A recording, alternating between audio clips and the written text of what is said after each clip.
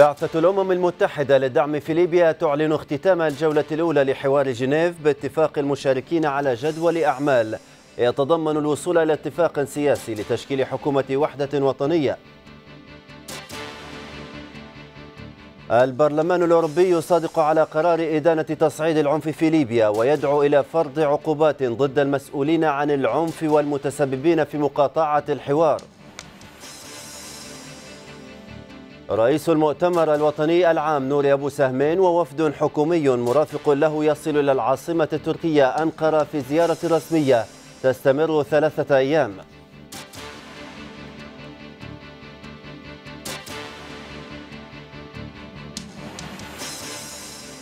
نشرة الثالثة عبر شاشة ليبيا لكل الأحرار أهلا بكم. أعلنت بعثة الأمم المتحدة للدعم في ليبيا عن اختتام الجولة الأولى للحوار في جنيف باتفاق المشاركين على جدول أعمال يتضمن الوصول إلى اتفاق سياسي لتشكيل حكومة وحدة وطنية توافقية. وقالت البعثة في بيان لها إن المشاركين في الحوار دعوا كافة الأطراف لوقف الاقتتال لإيجاد بيئة مواتية للحوار. وذكرت البعثة أن الحوار يرتكز على الالتزام بأسس ثورة السابع عشر من فبراير واحترام شرعية مؤسسات الدولة وفصل السلطات والانتقال السلمي للسلطة ونبذ العنف والإرهاب. وأكدت البعثة عقد جولات أخرى للحوار الأسبوع القادم والأسابيع التالية. ويشمل ذلك ممثلي البلديات والمجموعات المسلحة إلى جانب الشخصيات السياسية والاجتماعية والقبلية.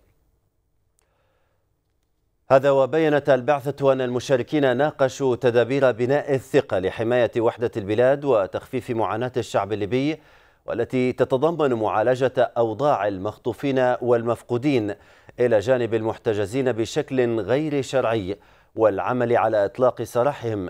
وناقش المشاركون كيفية معالجة شؤون المهجرين والنازحين في الداخل والخارج إلى جانب ضرورة فتح المطارات وتأمين الملاحة الجوية والبحرية والنقل البري في البلاد. وطلبوا بتأمين المرتبات لجميع من له حق فيها دون تمييز على أي أساس كان. ودعا المشاركون في حوار جنيف المؤسسات الحكومية المعنية إلى تأمين الآليات المناسبة لاستيراد المواد الغذائية والتموينية الضرورية. أكد مجلس الجامعة العربية في دورته غير العادية على المستوى الوزاري التي انعقدت في القاهرة أمس الخميس أكد أن الحل السياسي يعد السبيل الوحيد لتسوية الأزمة في ليبيا من خلال حوار وطني بين كافة الأطراف التي تنبذ العنف. وأكد المجلس دعم ما وصفه بالشرعية المتمثلة في مجلس النواب المنحل والحكومة المنبثقة عنه. مطالبا مجلس الأمن الدولي برفع القيود المفروضة على تسليح القوات التابعة له. ورحب المجلس بانعقاد الجولة الثانية من الحوار في جنيف وحث كافة أطياف الشعب الليبي على إبداء المرونة اللازمة والتعامل مع الحوار بروح إيجابية تضمن الوصول إلى قواسم مشتركة بما يؤدي إلى تحقيق النتائج المرجوة منه. حذر المبعوث البريطاني الخاص إلى ليبيا جوناثان باول من أنه إذا فشلت محاولات الأمم المتحدة لحل الأزمة فإن البديل هو أن تتحول ليبيا إلى صومال جديد على البحر المتوسط حسب وصفه. وفي مقابلة مع وكالة رويترز حذر باول مما وصفها بمخاطر اندلاع حرب أهلية شاملة. ستفرض تهديدات خطيرة على الدول المجاورة لليبيا وأوروبا. قائلا إنه لا يمكن أن يعد أو يمكن بعد تحديد ما إن كان الحوار سينجح أم لا. واستبعد باول أن تتدخل حكومات بإرسال قوات إلى ليبيا لتقوية الأطراف التي تدعمها مؤكدا في المقابل أنها قد تستمر في دعم حلفائها بالأسلحة والمنشورة والأموال وتحريضها على الاستمرار في القتال واصفا ذلك بالخطير.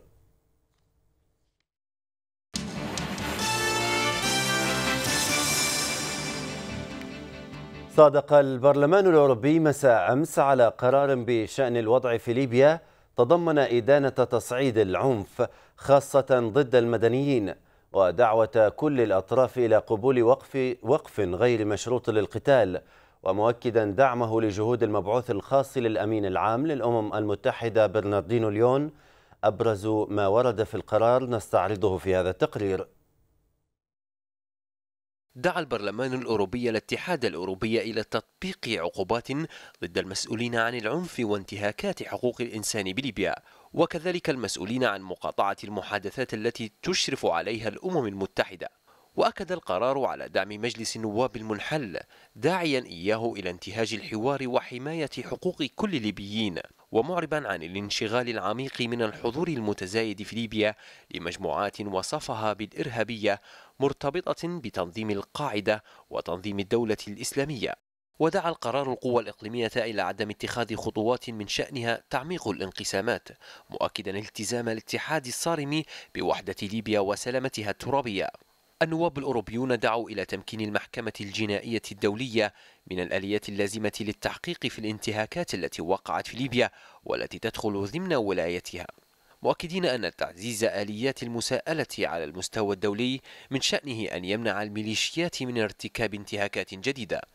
القرار أكد أيضا على ضرورة حماية حياد المؤسسات الليبية لا سيما المصرف المركزي والمؤسسة الوطنية للنفط. ودعا الشركات الدولية التي تبرم عقودا متعلقة بالنفط الليبي إلى التأكد من أن تعاملاتها لن تستخدم على نحو مباشر أو غير مباشر في تمويل الميليشيات المتقاتلة. كما دعا القرار إلى إعادة تقييم مهمة البعثة الأوروبية لمراقبة الحدود في ليبيا وإنشاء بعثة سياسية للأمن والدفاع المشترك تعمل مع الأمم المتحدة والشركاء الإقليميين في حال إيجاد حل سياسي في ليبيا.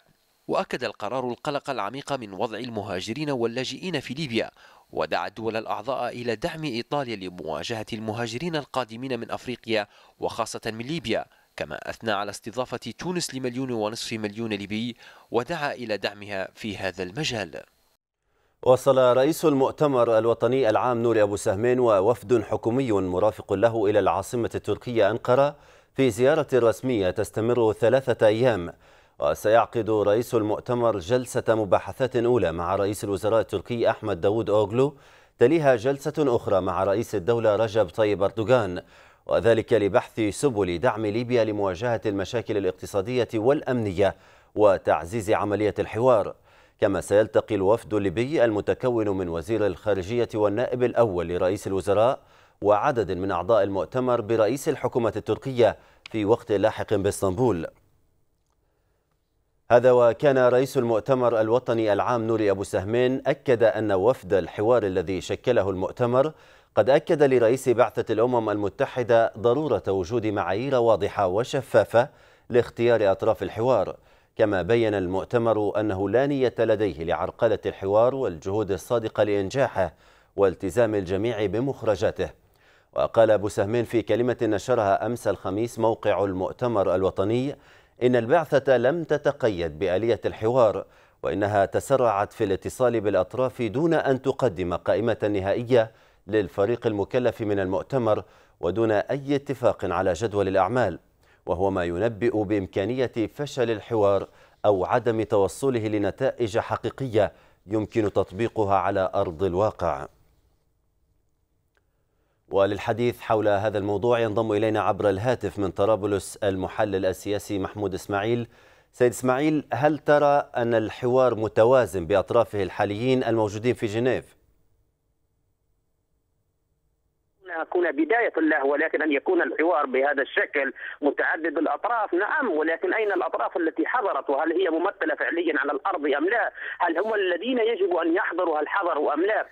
حقيقة أرى أن الأمم المتحدة كثير من الاستعجال في آلية الاختيار سواء كان في الأطراف وأيضا لم يكن هناك توضيح أو تحديد بمعالم الخارطة التي يسير بها هذا الحوار ما هي البنود وما هي الإجراءات وما هي الطريقة. لم يكن هناك وضوح الذي يهم الشعب الليبي لا يهم الأمم المتحدة ولا يهم جنيف. لن تشكل حكومة للليبيين يرضوا عنها في جنيف الليبيون أحرار وسيظلون أحرارا. لذلك دافعوا ولذلك ولذلك واجهوا القذافي وآلته القمعية ولذلك انتصروا ومن أجل لذلك هم يسيرون. لا يمكن القبول مهما كان وكيف كان أن يتم رسم معالم طريق لليبيا خارج ليبيا. ولا يمكن أيضا الرضا بأن تكون الأطراف أو يتحدث أطرافهم. يتحدثون بأسمائهم الشخصية نعم. ولكن أن يتحدثوا عن الشعب الليبي وأن يحاولوا قدر الإمكان أن يكيلوا بأن هذا الموضوع عبارة عن ممثلين للشعب الليبي. لا أعتقد أن الليبيون المؤتمر الوطني سيد إسماعيل يقول تفويض عام بالخصوص أوضحت الفكرة سيد إسماعيل إذا كنت تستمع إلي.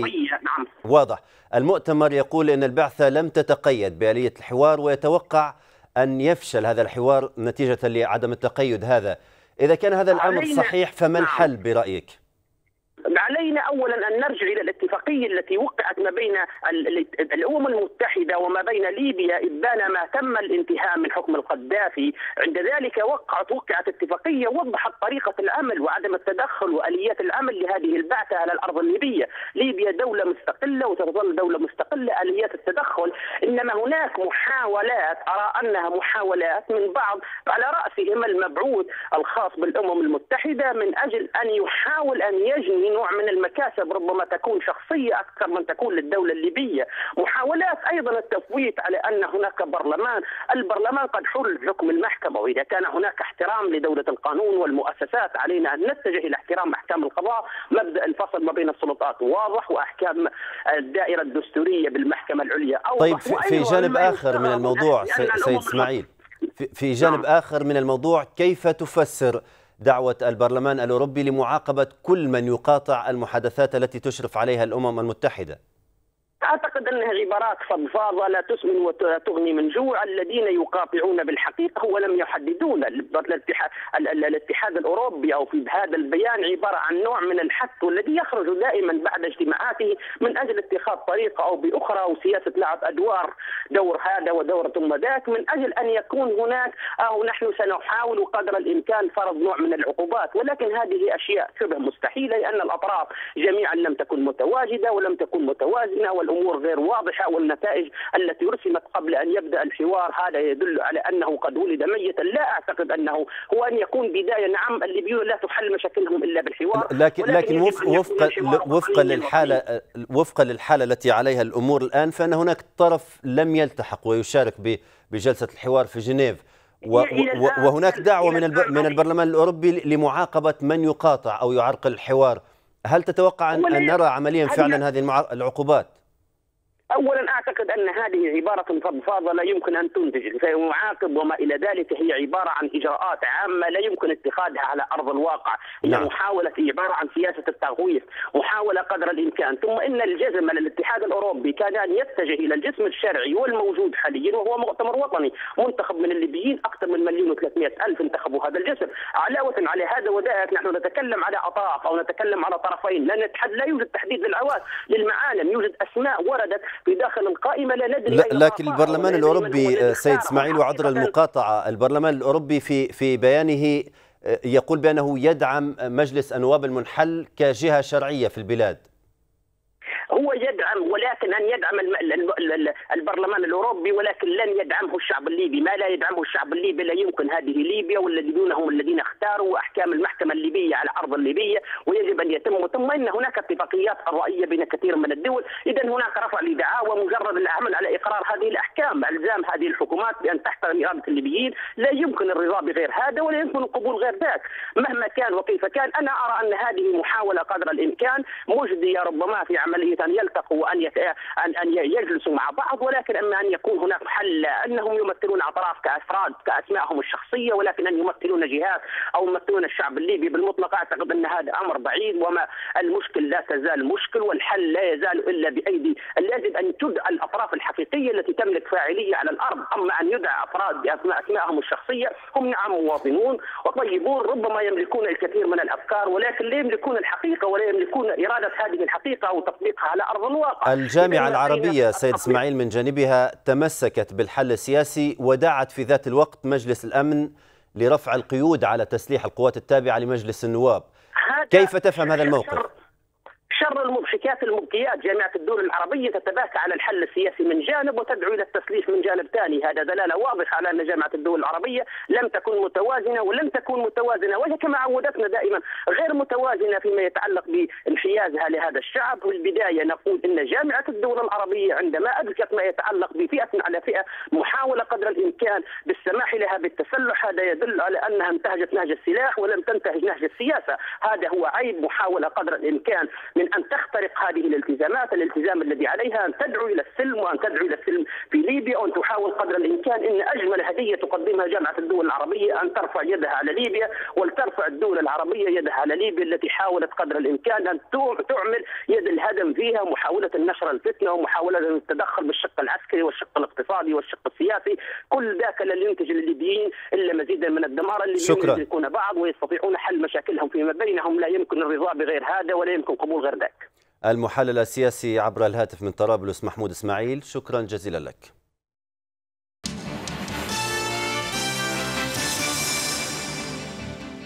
شدد المجلس الأعلى للدفاع على أن أي اتفاقيات فردية تبرم مع أشخاص لا يمثلون إلا أنفسهم لن تكون ملزمة للدولة الليبية داعيا الأطراف إلى احترام سيادة الدولة الليبية المتمثلة في شرعية المؤتمر الوطني العام وحكومة الإنقاذ مؤكدا على ضرورة أن يكون الحوار على أساس ثوابت ثورة السابعة عشر من فبراير.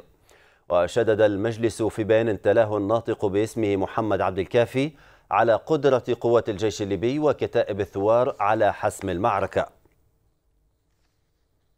إن الحوار يجب أن يكون على أساس الثوابت الوطنية لثورة السابع عشر من فبراير والإعلان الدستوري ولا يمكن القبول بأعضاء وأعوان النظام السابق أو من هم مطلوبون للعدالة الليبية كأطراف في أي حوار.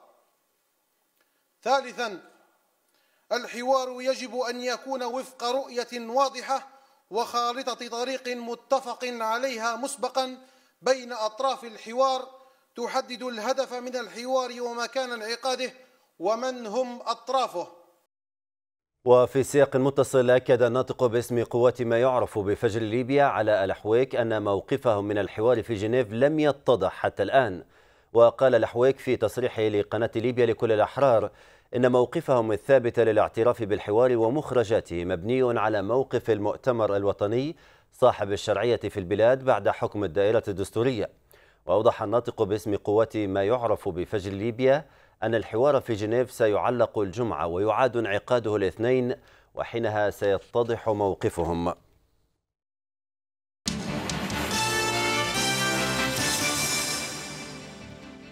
قال الناطق الرسمي باسم المجلس البلدي في كيكلا رضا يعقوب أن المدينة تشهد هدوءا نسبيا اليوم موضحا أن الجهة الشرقية للمدينة تعرضت أمس لقصف بالمدفعية الثقيلة لم يدم طويلا. ونفى يعقوب مشاركة المجلس البلدي للمدينة في عملية تبادل الأسرى التي تمت مع مدينة زنتان مضيفا أن العملية كانت بوساطة محلية. يشار إلى أن عملية لتبادل الأسرى قد جرت المدة الماضية ما بين مدينتي كيكلا والزنتان. قال الناطق باسم القوة الوطنية المتحركة صبح جمعة إن محاور العقربية والعسة وجنوب العجلات تشهد اشتباكات بالمدفعية الثقيلة. وأوضح جمعة أن قواتهم لا تزال تتمركز في محور حرف التي ببئر الغنم وجنوب الزاوية. مضيفا أن محاور الرابطة والكسرات ومصنع الطباشير كلها تحت السيطرة يشار إلى أن معارك عنيفة دارت في محور العجلات أمس الأول أسفرت عن مقتل ثمانية أشخاص وجرح عدد آخر من القوات التابعة لما يعرف بفجر ليبيا. ولمزيد التفاصيل ينضم إلينا عبر الهاتف الناطق باسم القوة الوطنية المتحركة صبح جمعة. سيد جمعة ما هي آخر التطورات على الأرض في المنطقة الغربية؟ نعم السلام عليكم وحييك وكافة مشاهدي قناة ليبيا لكل الأحرار. وعليكم السلام. تشهد جميع المحاور في المنطقة الغربية اشتباكات عنيفة في اليومين الماضيين يوم الأمس وأول أمس أكثر خاصة في محور جنوب العجيلات ومحور منطقة العقربية الممتد إلى منطقة الزرير جنوب الجميل. وأيضا محور العسة الذي يأتي غرب منطقة قاعدة الوطية الجوية. سجلت طبعا بعض الخسائر في صفوف قواتنا من إعداد ثمانية شهداء وعدد ستة جرحى خلال اليومين الماضيين، أما يوم الأمس واليوم فتشهد تبادل اطلاق النار بالأسلحة الثقيلة متقطعة ليست اشتباكات مستمرة بين الحين والآخر وأكثر المحاور تشهد سخونة ربما في العمليات العسكرية محور جنوب العقربية ومنطقة الزرير. طيب هل استمرار الاشتباكات بالمدفعية الثقيلة يعني أنه لا وجود لأي تقدم من أي طرف؟ بالنسبة لقواتنا تمتلك المساحات الشاسعة والمواقع التي تم السيطرة عليها بعد السيطرة على منطقة طويلة غزالة والعسة وأيضا مناطق رقدلين وجميل وزلطن. إنما التقدم يأتي بمسافات ربما بسيطة ولكن نملك بعض المواقع الاستراتيجية وبعض النقاط العسكرية التي كانت تسيطر عليها ما يسمى بقوات جيش القبائل. التقدم يأتي لإغلاق الممرات التي آه، يستعملونها لتمويل قواتهم داخل قاعدة الوطية الجوية ونجحنا بنسبة كبيرة في هذه المهمة الصعبة ربما لشساعة المساحة. ما زال المحور الجنوبي لقاعدة الوطية يشهد بعض العمليات من قبل قوات ما يسمى جيش القبائل لإدخال بعض المؤن وأيضا استعمال طائرات اليوشن الشحن اليوشن التي تأتي ببعض الجنود وبعض معدات الوقود والأسلحة وما إلى ذلك ونحن نتعامل على الأرض وليست لدينا قوات جوية إلى حد الساعة. الناطق باسم القوى الوطنية المتحركة صبحي جمعة شكرا لك. نفى آمر القوة الثالثة جمال تركيا الأنباء المتداولة بشأن مقتل أربعة أفراد من عناصر القوة بالقرب من مدينة سرت. وقال التركي في تصريح لقناة ليبيا لكل الأحرار إن الأمر هو عملية اختطاف نفذها مجهولون ضد عناصر مسلحة تابعة للقوة منذ أربعة أيام حيث أقاموا بوابة وهمية بالقرب من مشروع اللود الواقع بين ودان وبنجيم في منطقة الجفرة أفاد أمر القوى الثالثة أن قوتهم تكثف من عمليات البحث للعثور على الخاطفين وتحرير المختطفين. قال أمر القطع الحدودي جدابيا العقيد بشير بضفيرة إن منطقة الهلال النفطي تشهد هدوءا تاما منذ يوم أمس الخميس. أضاف بضفيرة أن هناك جهودا للوساطة جرت في منطقة النوفلية موضحا أن عددا من أعيان المنطقة التقوا مع أعيان مدينة مصراتة وحكمائها من أجل حل الإشكال القائم سعيا لحقن الدماء. الثالثة ما زالت متواصلة وفيها بعد الفاصل. العثور على 25 جثة قبالة شواطئ زليتن تعود لمهاجرين غير قانونيين أغلبهم من السنغال.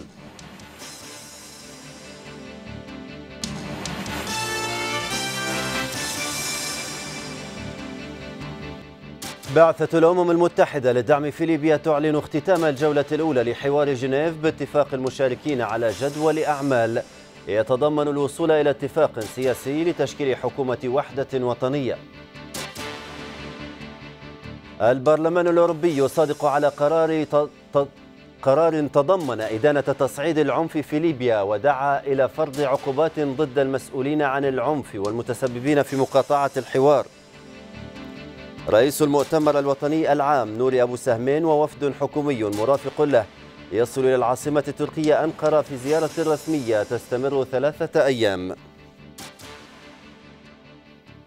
أهلا بكم. من جديد أكد عميد بلدية أوباري أحمد المرتضى لقناة ليبيا لكل الأحرار أن هدوءا حذرا يسود المنطقة مع توقف سماع طلقات النيران المتفرقة منذ يومين. وقال المرتضى إن شباب المدينة تمكنوا من إعادة جزء من الاتصالات التي كانت مقطوعة منذ مدة. أضاف المرتضى أن لجان الأزمة في الوقت الذي تواصل فيه تقديم المساعدات للأسر النازحة تقوم بعملية حصر للنازحين في جميع المناطق بالتعاون مع حكومة الإنقاذ لإتمام إجراءات تحديد الاحتياجات وتسديد إيجارات مقار إيواء النازحين. طلب مصرف ليبيا المركزي بإجراءات فورية لترشيد الإنفاق مهما كانت صعبة ومؤلمة. مؤكدا أن هذه الإجراءات ترمي إلى توفير الحد الأدنى من متطلبات الحياة اليومية للمواطنين.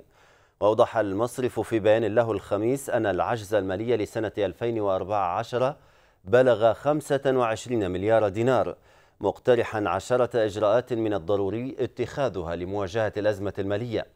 ومن ضمن الإجراءات معالجة عجز الميزانية معالجة قانونية وفق التشريعات النافذة والالتزام التام بتطبيق الرقم الوطني في جميع المعاملات المالية ووضع آلية فاعلة لتحصيل الإيرادات السيادية وإعادة النظر في سياسات الدعم وتأجيل قرارات الإفاد وإعادة النظر في آلية العلاج بالخارج. العثور على 25 جثة قبالة شواطئ مدينة زليت تعود لمهاجرين غير قانونيين. أغلبهم من السنغال إثر غرق مركب كان يقل يقلهم في محاولة للهروب إلى إيطاليا. أفاد عضو المكتب الإعلامي في المجلس البلدي زليتن أحمد دوفان بأنه تم إنقاذ ثلاثة مهاجرين في حالة صحية سيئة. أما الجثث فسلمت لمركز زليتن الطبي. أضاف دوفان أن الناجين أفادوا بأن العدد الإجمالي يبلغ 72 شخصا كانوا على نفس المركب ولا يزال البحث مستمرا عن الباقين. والآن إلى جديد الصفحة الرياضية.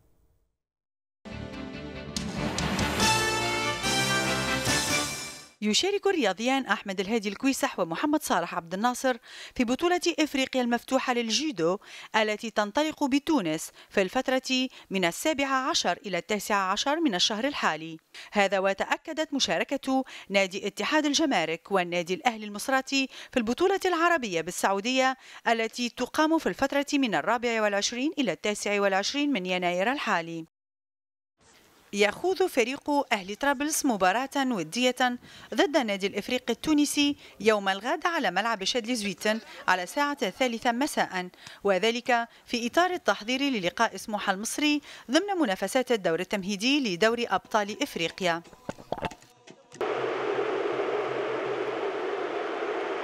في مباراة مثيرة ودع ريال مدريد حامل اللقب كأس ملك إسبانيا بعدما تعادل بهدفين مع أتلتيكو مدريد مساء أمس على ملعب سانتياغو برناباو في إياب الدور السادس عشر ليتفوق أتلتيكو بنتيجة أربعة أهداف مقابل هدفين بمجموع المباراتين ذهابا وإيابا ويتأهل لدور الثمانية بفضل ثنائية لاعبه العائد فرناندو توريس الذي سجل في الدقيقة الأولى من الشوط الأول والسادسة والأربعين. وعدل ريال مدريد سيرجيو راموس في الدقيقة العشرين ثم كريستيانو رونالدو في الدقيقة الرابعة والخمسين.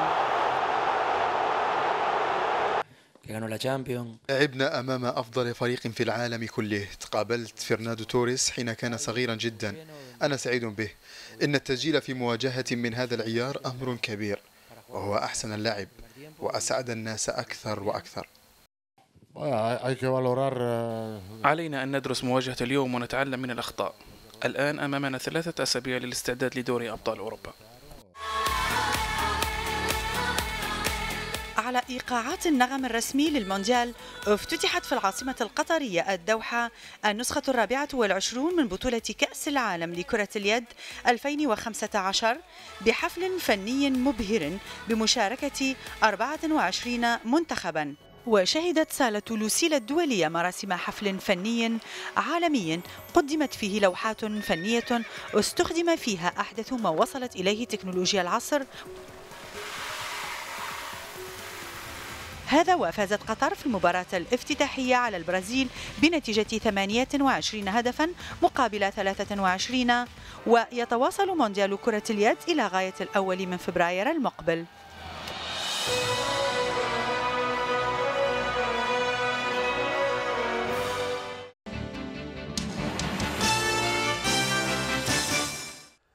الثالثة انتهت وإليكم العناوين. بعثة الأمم المتحدة للدعم في ليبيا تعلن اختتام الجولة الأولى لحوار جنيف باتفاق المشاركين على جدول أعمال يتضمن الوصول إلى اتفاق سياسي لتشكيل حكومة وحدة وطنية. البرلمان الأوروبي يصادق على قرار تضمن إدانة تصعيد العنف في ليبيا ودعا إلى فرض عقوبات ضد المسؤولين عن العنف والمتسببين في مقاطعة الحوار. رئيس المؤتمر الوطني العام نور أبو سهمين ووفد حكومي مرافق له يصل إلى العاصمة التركية أنقرة في زيارة رسمية تستمر ثلاثة أيام. شكرا لكم دمتم في أمان الله.